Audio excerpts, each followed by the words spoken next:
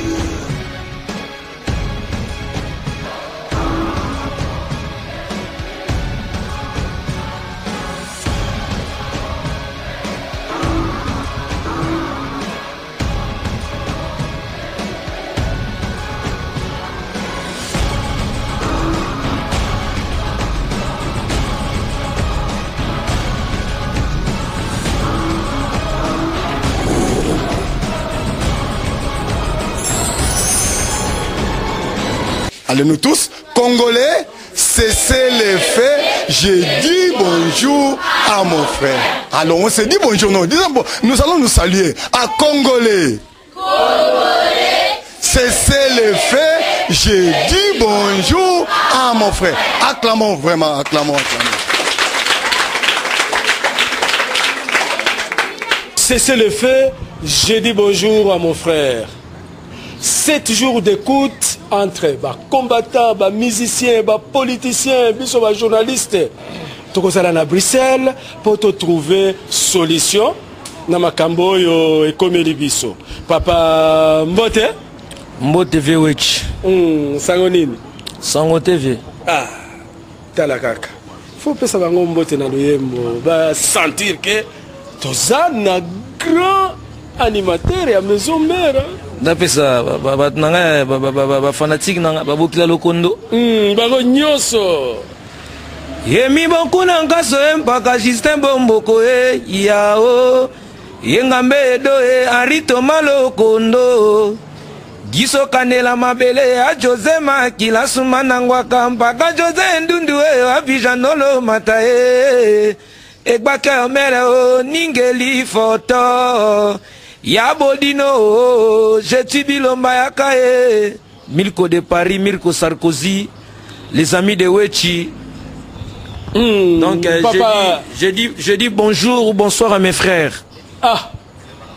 yo mpe opesa bango mbote vraiment mbote eza ebele kaka ya kopesa bango mm. na bana poto tu totika kala bambote mingi mm. vraiment tout le monde napesi bango mbote kaka mais tozolela kaka bafungola biso nzela papa toti kolanda reportage oyo réaction na yo ah vieux wich neti nga vraiment neti nga lobeso boye nazoloba bato bayebi ya mokili eyebi nalonga nao chapeau na ndenge ya respect mokili eyebi bana poto bayebi bana poto bayebi mokili eyebi napesi bango bambote bisika bazali partout dans le monde neti nga mpenza na nasala baémission trop na banet nasala baémission trop na banet naloba mamaka mo mpe oyo namonaki non bango mpe baa na raison naloba mamaka mo mpe biso ya misien mpe toa na foti te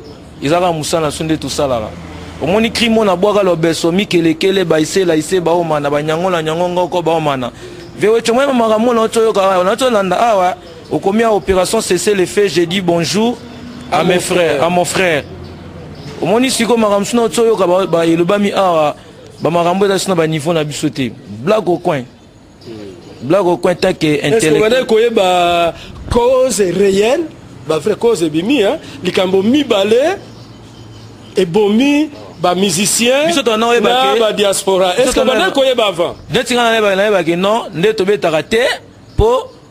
bayembela toyembela un pouvoir en place mm. on comprendre mais oh, par contre na moi ba, ba, ba, ba propos monsieur eza et se tenir awa ah, yana makambo ebele makambo ntango mosusu bamisien baka bengrand o oh, bamboka eh, eh, tozalaki na serie ya bafranc franc français franc belge en général tokomi na monnaie moko monnaie européen euro bato badépense yango ekomi kali nayoka ser na mwaoyo eza bareportage ya 2000 na 2002 ya 2002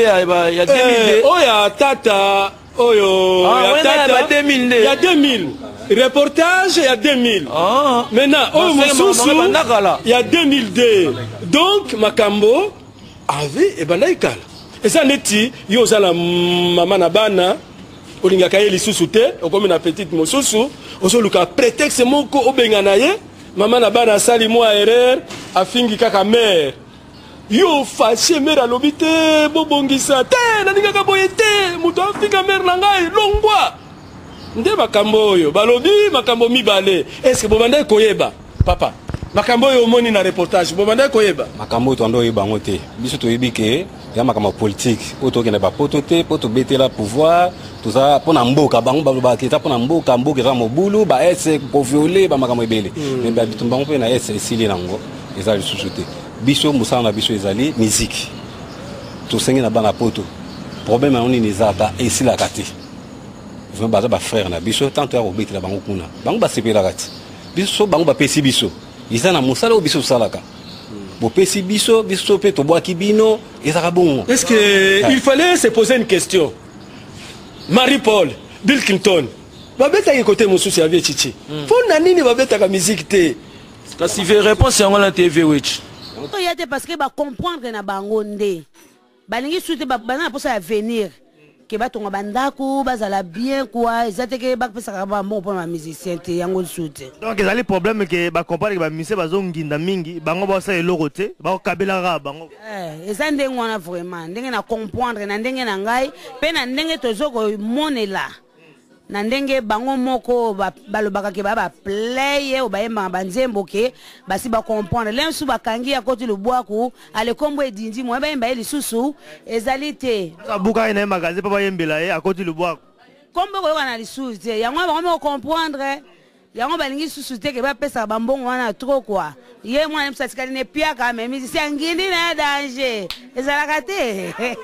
baza kotosa boulot te na ndenge nini baoya exemple biso tosacrifie mwa moke na biso topesa bango mais lobi biso bakomi na kini bazobosana kelai mosusu to veste azwaki to diero azwaki ezalaki biso nde tosali mpo topesa bango toyebi ke baza bandeko na biso mais soki akomi na kini lems ata moni yo kutu donc azoyeba te ke lems yo osala mpo ye azwa mwa 10 oyo na kini lems akomona yo abosani ke lems yo moto osala ye ngolobaka ere mona kini sokutela nduliste wana na kini parti ya danze donc akoabeta kutu kara neti ayebi yo te kua mais na vie na kin yo soki ote na ndulisa na ye ekoma marke lokola audience lisusu po bule kaka awa nde tomonaka bango no audience eza te mais soki akomi na kaa na ye ya bisi maseki te esusu soki le mosusu to le mosusu akuti otongo barefula yo est ce que yebaki le mosusu ngai gile napesa ye mbati akoyeba te donc mwa ingratitude eza baza na kobunga bango bana mwa ingratitude moko boye donc bazobosanaki no fo biso tosimba bango mpo esala kitoko mpo na kini moto akondima yo nano apeso kaluji na kini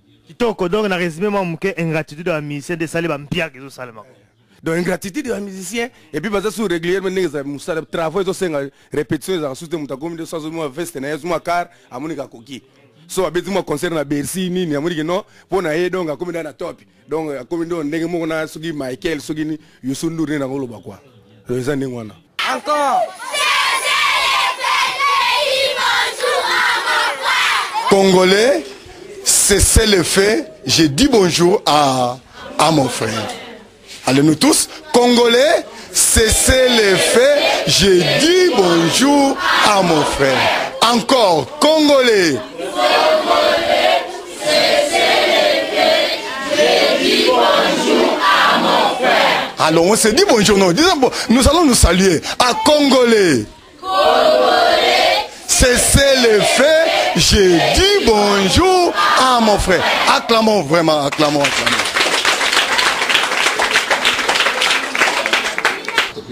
réponse yango wana ngai naoteni kaka na makambo mosusu nayoyoka bareproche bino balobi makambo mibale ya liboso bino soki boke poto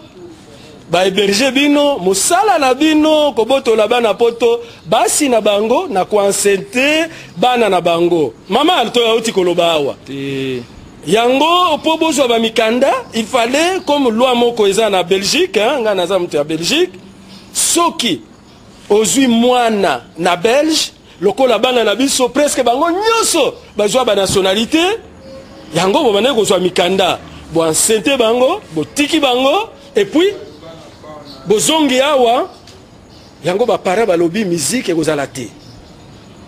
ah yango makambo ya politiki te wana politiki te wana nini mama alobi nga nakanisi nga nakanisi ke batomboka mpo bato bayembela kovanga place eloko moko na oloba est ce que bamisie boni bazwa mikanda na poto mpona makambo wana bango moko na poto basalaka makambo wana te bana combien botika na poto bana oyo nani bana ba musicien soneti nga naka na mokanda soki ezalaki naka na mokanda me naovanda ye naovanda eh, tosala mpe reportage ya bana oyo botiki na poto baluka bato batika bana na bango nde kuna bato bamisenso te balukaka makambo te ke no motu asali makambo motu mosusu bazwi bapakoli na bato mosusu epuis mosala na bino lero boke poto mosala na bino kobotola bana poto basi na bango epuis evewechi mwasi ya moto okobotole te mwasi aza mwasi ya motu ozwa ye te ya meme eza meme eza meme lisumu na bible oza mpena ke mwasi ya nde bible réalité est-il ke bana poto babalaki mpe badanseuse na bino bino au lieu botika ba danseuse basala libala na bango bokomi kolandela bango na kati ya mabala yango bana poto bazolinga bino te eza likambo ya joseph kabila kabange te eza bongo mm. ya nde bongo mama auti koloba sikoyo vewe tinga na comprendre te vewe tilo sikoyo osala propagande ya gouvernement oyo to défendre biso ba musicien na osala verité verité verité parce que verité oyo bato ah. babandaki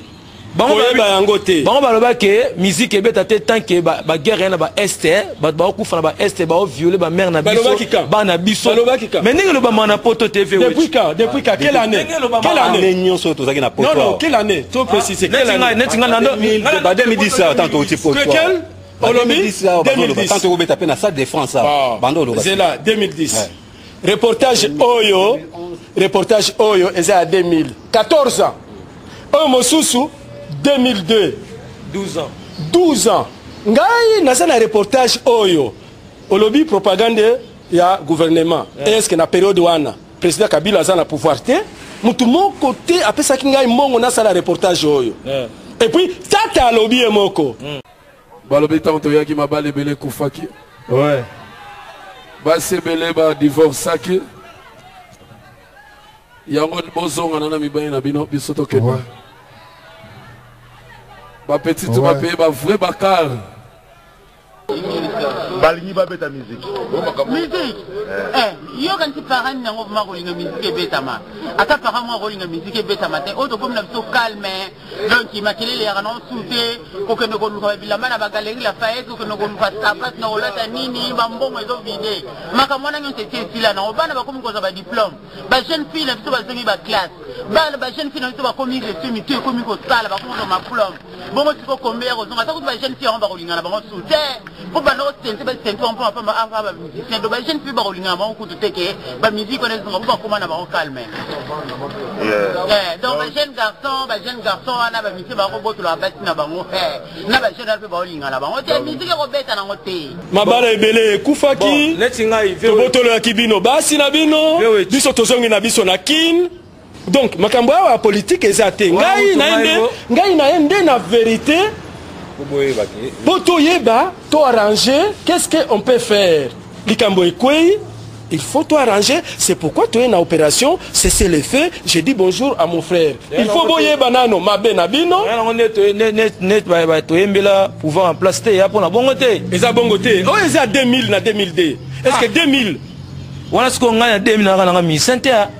Na 2000. Moi, j'ai vrai, j'ai commencé à œuvrer en 2007. Na 2007. Eh, donc, 5 ans après makambo wana. Oyo eza ya 2000 2002. Eh, donc wana sikoyo. Oyo ya 2000. kutu rais kabila kabange aza nano président te toza na periode ya musée tobotisa bana bato totika bana kuna mpo na korache badocument ya ovanda na bapoto hmm. oza comprendre yango nga na bakeno à cette époque là moi je ne t'ai pas encore musicien bazoloba kaka bamusicien en général bamusicien en général baba bamusicien en général il faut nga nakota sikoyo na concernant sujet balobaka ke non bokobeta te mpo boyembela pouvoir en place wana eza prétexte oh, so eza prétexte donc élément wana toti yango pembeni maintenant to résoudre problème ezali deux choses oyo bana poto bazalaki na courage ya koloba yango te ngai nalobi yango na reportage parce que image eza wana Première, deuxième chose, hmm. likambo ya mbongo. Ah. Eh, bino bokendeki kuna na système ya kanguru ah. qui est tout à fait normal. Voilà. Eh. bapesi oti bapesi ah. oti ah. ozongi oinvestir ah. bana poto babandaki kokanisa ke bamusicien baza neti bamusicien ya kala sikoyo lero baye na poto baye na kin bamoni ke bamusicien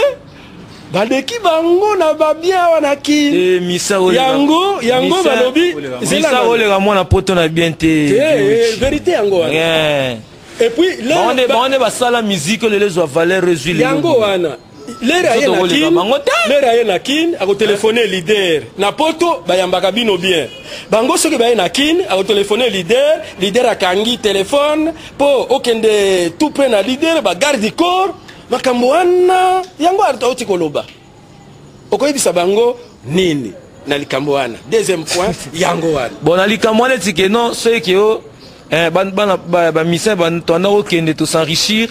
toye kuna tobima lokola ke towana eloko te hmm. so toye koto tokomi bagangi eh. nga na beza fo ya chifo donc eh, elika moto bamaka moke non neti nga naka na bandeko na nga naka na bayani kayenga so baya tokutanaka na bajeti bilomba alinga mona nga kuta babenga nga lobeso yo azwa nga na aéroport na démarre motuka ti na aéroport nake ozwa ye nga na bandeko ebele bazalaka kuna na poto bamirko de paris banoko gilles dikando bavie na nga bapeter diwabanza bapapi matalatala so babenga peti ya nde na oyo alobi ya kozwa biso Adolphe Ngaki na odemare bena mutuka na nga ntina ke ozwa ye mpe vea nde na ke mpe ba toke mpe tovandi esika na ofrir ye mpe ah. ke makambo ke oh, ozo eh, moto aye awa abengi lider wana sikoyo fo tuna moto wana lider bazalaki na relation nini bana relation eh, yo kutu biso deya na kati ya motuka velo eti eh, tu nous as trouvé à bord de la voiture mais tokiti mpo wani mpo na considération na bino vie mpo ya poli tokita ovie weti na ndenge na ya respect nayebi te tokita oyo mpe na biso wa tokita vraiment donc oyo congo les amis de wechi tokita oyo bena vie wechi ya considération est ce que tosali fiera bato mosusu ayake non osola na vie wechi kaka vie bonjour na poto ta mosusu osola lobeso bonjour oyo na kisasi omoni ngai ofai na bato ta mosusu esika mona bato ebele boye obenganga benge nanga lobeso wana ya quand même non boso na bikenda oya na nga te yo oza na omona poto nga nakofaire deplace obongo te yo soki olingo déplace nga na miso bata mosusu mpenza ba 100 personnes bafanda na, na kermese so nalobi na oyade na nga te oki olobi ke o non nasalaki yo fiere ekomi makambo moke yango incomprehension wana tolance opération cese le feu je dis bonjour à mon frère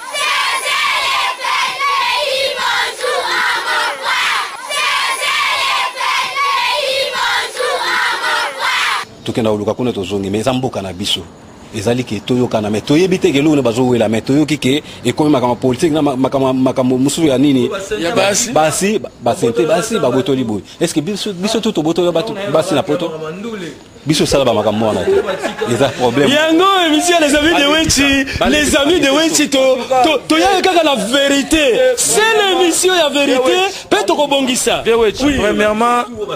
premièrement nga na ndenge oflate te en tout cas na pesi na félicitation les amis de wech oyo moi je connais cette émission avant même que je sois musicien nakomoni bena ke non mosala ki journalisme il faut okenda kozwa bainformation ba, ba na source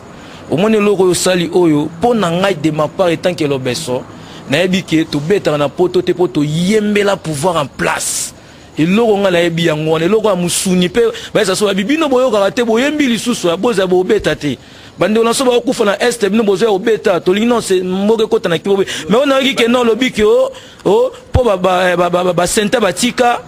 bapanza mabala bato babotola basi ya bato eza lisusu na badona basujet wana wana ezali kuka na banini wana baso ba 2002 wana ba 2004 so ba 2002 na 2000 na 2002 en tout cas hmm, eza makambo moko ezali suki makambo neti ke bani neti ngai nabaka neti ngai ya niveau na ngai bakaki nde nabaka ke non baisela ise baomana banyangola nyango ngoko bomana deja makambo ke non batata na batata lokola baokamatana bango nde bavanda babongisa biso bana tovanda totelema kaka totala boye eza makambo mosusu ke makambo te kema musicien mwa loba te gouvernement après tout toza bandeko ah, message ya paix na ndenge tobandi opération oyo ekobanda koleka chaque lundi 20h30 Molière, mercredi 20h30 Molière, na vendredi sensibilisation tokutana to arranger problème qu'on se pardonne et puis topesa place na bamusicien na eh biso mpo basala concurrence na bamusicien mosusu moi ça me chocre naza mwana ya choke nakomi kokende bar nakomi eh, kobeta badanse oyo nakotanga nkombo na yango te bana na biso bakomi kobina badanse ya baboye eza bien te babela il faut tozongisa culture na biso bazolanda yo papa okoyebisa nini ah. mpona kosukisa mpona kosukisa mpona kosukisa vewechi omoni eh, ezaka makambo ke non aimons nous les uns les autres dans l'amour de dieu eloko ezaka na une fois envoue ta moitié pardonné mpo ngai nayebi ke force ya musique na biso ezalaki na poto partout na libanda ya mboka allez nous tous congolais